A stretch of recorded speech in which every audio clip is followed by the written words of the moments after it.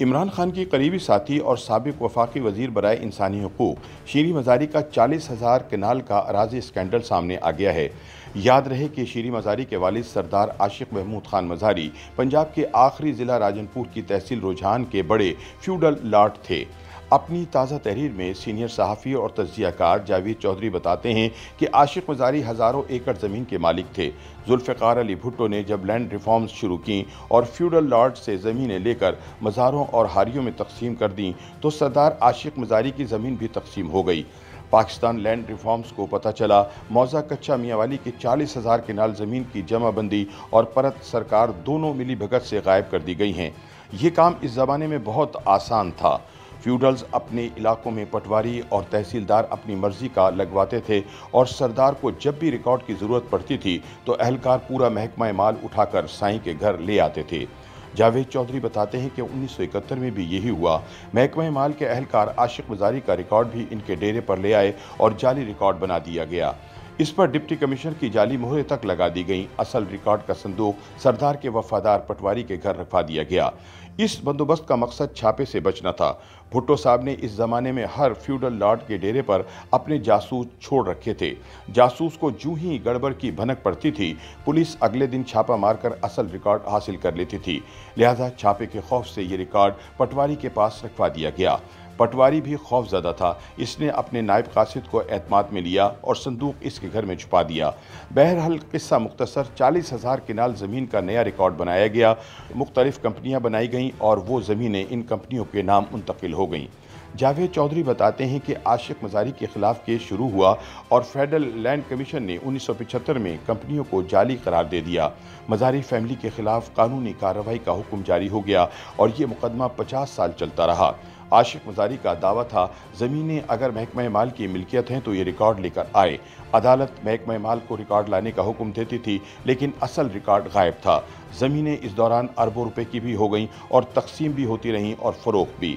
सरदार आशिक मजारी का इंतकाल हो गया और यूँ शीरी मजारी, इनके भाई सरदार वली मोहम्मद मजारी और इनकी वालदा दुर्र शहवार मजारी इस प्रॉपर्टी की बेनिफिशरी हो गए। जावेद कहते हैं कि शीरी मजारी का पूरा नाम शीरी महरुनिसा मजारी है। नादरा के रिकॉर्ड में इनकी तारीख पैदाइश छः जुलाई उन्नीस सौ इक्यावन है, जबकि गूगल में इनकी डेट ऑफ़ बर्थ 26 अप्रैल उन्नीस सौ छियासठ आती है। अब सवाल ये है कि ये 15 साल का फ़र्क क्यों है?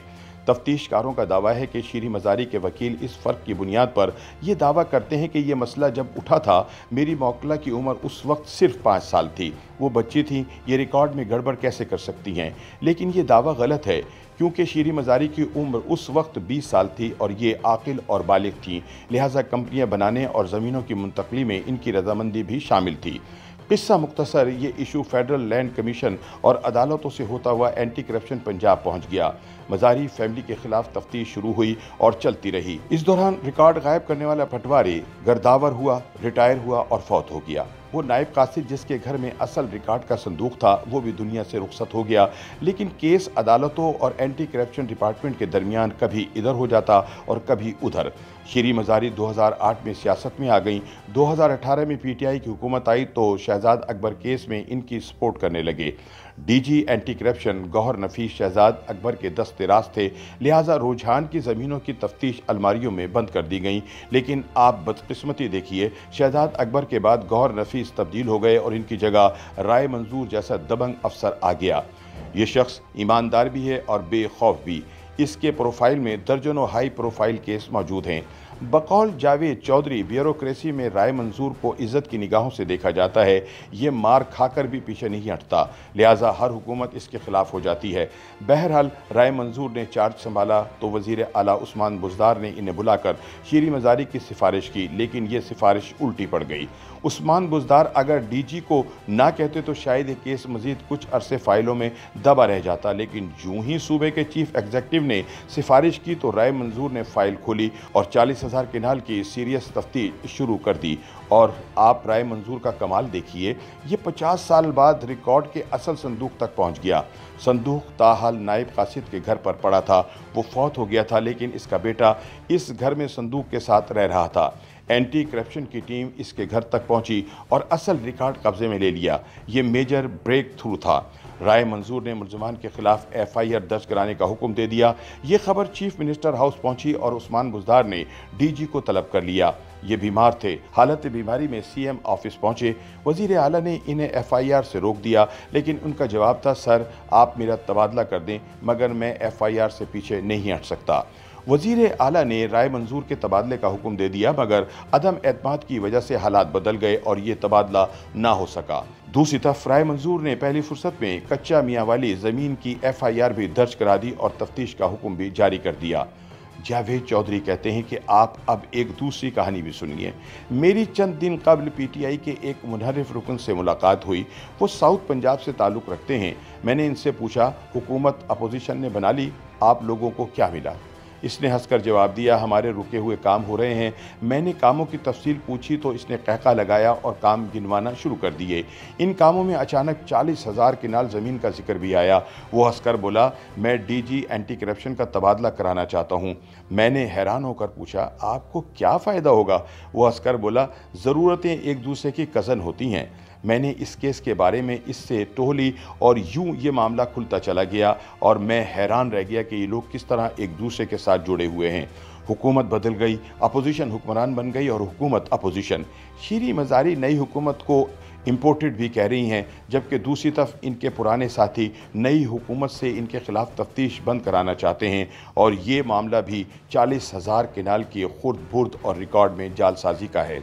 जावेद चौधरी कहते हैं कि लिहाजा मैं इस दिन का इंतज़ार कर रहा हूँ कि जब इस तफ्तीश का रिकॉर्ड और इक्यावन साल पुराना संदूक एक बार फिर गायब हो जाएगा और एफ़ आई आर दर्ज कराने, तफ्तीश करने वाली टीम और डी जी एंटी करप्शन को खुडे लाइन लगा दिया जाएगा और नई टीम रिकॉर्ड को एक बार फिर दफन कर देगी और यूँ ये मामला पचास साल के लिए दफन हो जाएगा।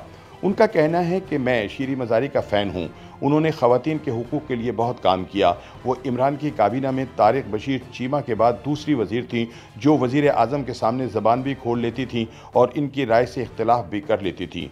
मोटरवे ज्यादती केस पर जब C C P O Umar Sheikh ने मुतासर खातून के खिलाफ बयान दिया तो शीरी मजारी ने इन्हें भी आड़े हाथों लिया। ये पढ़ी लिखी भी हैं। लंदन स्कूल ऑफ़ इकनॉमिक्स और कोलंबिया यूनिवर्सिटी से डिग्री होल्डर हैं, लेकिन इसके बावजूद इनके पास चालीस हज़ार केनाल ज़मीन पर कब्ज़े और रिकॉर्ड में रद्दबदल का क्या जवाब है? मैंने इस जवाब के लिए इनसे रबता किया। उनका कहना था, मैंने सुना है, कोई एफ़ आई आर दर्ज हुई है और कोई तफ्तीश भी हो रही है, लेकिन हमें अभी तक नहीं बुलाया और ना इतला दी गई।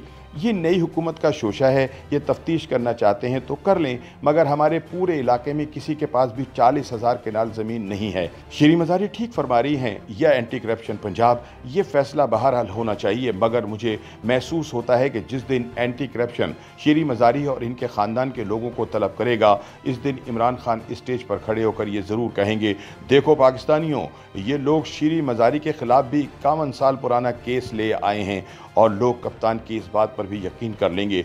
लिहाजा मेरी नई हुकूमत से दरख्वास्त है कि आप कम अज़ कम ये तफ्तीश ज़रूर मुकम्मल करा दें।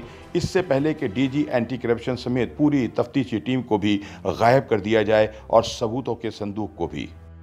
YouTube पर गूगली न्यूज़ देखने के लिए YouTube.com की सर्च बार में गूगली न्यूज़ टीवी टाइप करें। गूगली न्यूज़ के पेज पर सुर्ख रंग के सब्सक्रिप्शन वाले बटन पर क्लिक करना ना भूलिए। YouTube पेज पर अपलोड होने वाली वीडियो से बाखबर रहने के लिए बेल आइकन पर क्लिक कीजिए। आपको हर नई वीडियो के बारे में नोटिफिकेशन मौसू हो जाएगा।